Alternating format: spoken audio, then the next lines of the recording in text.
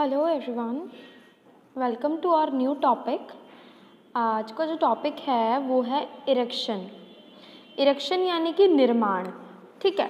तो जब भी, देखिए, पहले तो ये चीज़ कि कंस्ट्रक्शन सेफ्टी का टॉपिक चल रहा है तो कंस्ट्रक्शन सेफ्टी का जो टॉपिक है, उसका टॉपिक का नाम जो है, वो है इरेक्शन ठीक है? इरेक्शन क्या होता है? इरेक्शन जैसे कि कंस्ट्रक्शन मतलब भी निर्माण होता है और इरेक्शन मतलब भी निर्माण होता है। अब इरेक्शन क्या होता है? ये स्टील वर्क रहता है, ठीक है?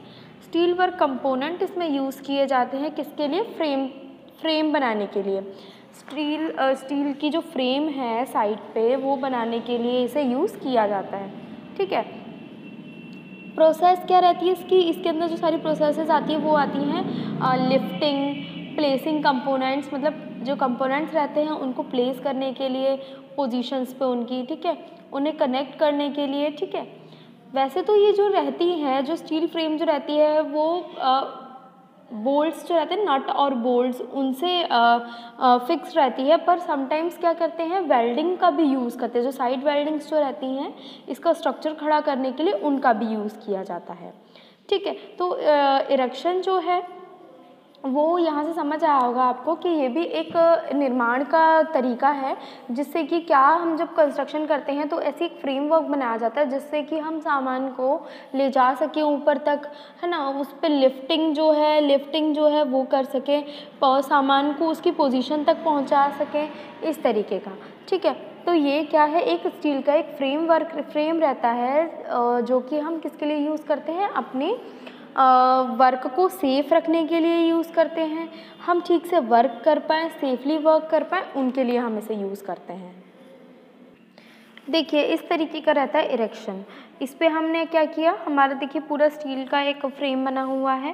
आ, आ, जो सरफेस है उससे ऊँचा उसका प्लेटफॉर्म है। लेडर्स ये जो, ये दे रखे हैं। ये देखिए यहाँ से सारी चीज़ें पिलर्स वगैरह से दे रखे हुए हैं। स्टेयर्स दे रखी हुई हैं कि आप ऊपर जा सके, नीचे आ सके इन सब के लिए, ठीक है? तो ये क्या है? क्यों करा ये हमने? ये प्लानिंग क्यों की जाती है? एक पार्ट ऑफ़ प्लानिंग है, ये मेथड है किसी काम को करने का। और जिसका पर्पस क्या है? सेफ़ सिस्टम ऑफ़ वर्क ठीक है? सेफ़ सिस्टम ऑफ़ वर्क हम करेंगे तो ये हम जो इरेक्शन है उसको हम यूज़ करेंगे, ठीक है? बाकी हम और क्या क्या कर सकते हैं इससे? सुपरविजनिंग कर सकते हैं।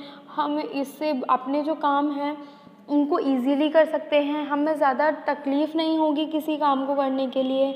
हम और भी चीज़ें चेक कर सकते हैं। जैसे कि जब हम विजुअल इंस्पेक्शन कर रहे हैं क्रेन्स का तो हम इसको यूज़ करके, इस प्लेटफॉर्म को यूज़ करके भी वर्क कर सकते हैं। ये सारी चीज़ें हैं। तो ये टोटली हमारे लिए बहुत बेनिफिशियल है। क्योंकि क्योंकि ये क्या है, एक हम जो परमानेंटली टेम्परेरी ऐसा प्लेटफॉर्म तैयार कर रहे हैं, जिससे हम नेक्स्ट जो हमारे वर्क हैं, वो हम कर सकें। ठीक है? एक हम मतलब टेम्पररी कम परमानेंटली ये रहता है मतलब हम उसको कस देते हैं ना बोल्ट वगैरह लगा के उसको हम आ, कर देते हैं ठीक उसको फिक्स कर लेते हैं। हमें जितना काम उसमें करना है हम इजीली कर सकते हैं। ऐसा भी नहीं है कि वो अनस्ट्रॉन्ग हो थोड़ा सा कि मतलब हम इस पर ज़्यादा चीज़ें नहीं लेके जा सकते हैं या कुछ भी। ऐसा नहीं है इसमें, पर हाँ ये है कि हम जो भी वर्क कर रहे हैं, वो हम सेफली कर पाए, इसलिए इसे यूज़ किया जाता है। पर ऐसा नहीं है कि आप इस पर वर्क कर रहे हैं तो अपन पीपीज़ वेयर ना करें और ये सारी चीज़ें पीपीज़ तो आपको प्रॉपरली वेयर करनी ही होंगी। देखिए, इस तरीके से अगर आप कोई भी लिफ्टिंग वगैरह यूज़ करते हैं जैसे कि ये खड़े हुए हैं, ये जो है फॉर्क लिफ्ट या कोई भी क्रेन्स वगैरह आप यूज़ करते हैं ऊपर जाने के लिए प्लेटफॉर्म पे तो इस तरीके से आप इसको यूज़ में ले सकते हैं। ठीक है? तो इस, आप क्या है, इससे अपना वर्क इजी बना सकते हैं, होने वाले काम भी ठीक से हो पाएँगे। ठीक है तो इस तरीके से ये रहता है। अब देखिए, इसमें हम जब भी इसे बनाते हैं, जब भी हम इसको यूज़ कर रहे होते हैं तो देखिए fall arrester columns vertical rope line falling arresters ये सारी चीज़ें हम लगाते हैं। लाइफ लाइन बीम्स वगैरह, ये सारी चीज़ें हमें चेक करनी होती हैं, ताकि हमारा जो भी वर्क चल रहा है, वो किस तरीके से चल रहा है, हमारा काम जो है वो सेफली हो। ठीक है, ये सारी चीज़ें चेक करने के लिए। ताकि हमारे जो भी एक्सीडेंट्स हैं, वो ना हो पाए और प्लस ठीक है, इसलिए हम ये जो भी बनाते हैं, ये जो हमारा प्लेटफॉर्म जो है इरेक्शन जो भी करते हैं स्टील फ्रेमवर्क से, वो यही इसी के लिए मेन होता है कि हमारे जो भी वर्क चल रहा है, वो सेफली हो पाए। ठीक है तो ये इरेक्शन के बारे में आज मैंने आपको बताया। कंस्ट्रक्शन सेफ्टी का ये टॉपिक है। इसमें आपको, देखिए, ज़्यादा कुछ तो नहीं, पर ये जैसे कंस्ट्रक्शन सेफ्टी का टॉपिक है तो आपको कंस्ट्रक्शन पे होने वाली चीज़ों के बारे में पता होना चाहिए। इरेक्शन क्या होता है, क्यों हम यूज़ कर रहे हैं, है ना? इससे हमारी सेफ्टी से क्या रिलेशन है इसका? ठीक है अगर कंस्ट्रक्शन में ये टॉपिक आ रहा है तो सेफ्टी से इसका क्या रिलेशन है? ये सारी चीज़ें हमें पता होना ज़रूरी है, ठीक है? तो आपको आप पता लगा होगा कि इरेक्शन पे हमें कैसे वर्क करना है।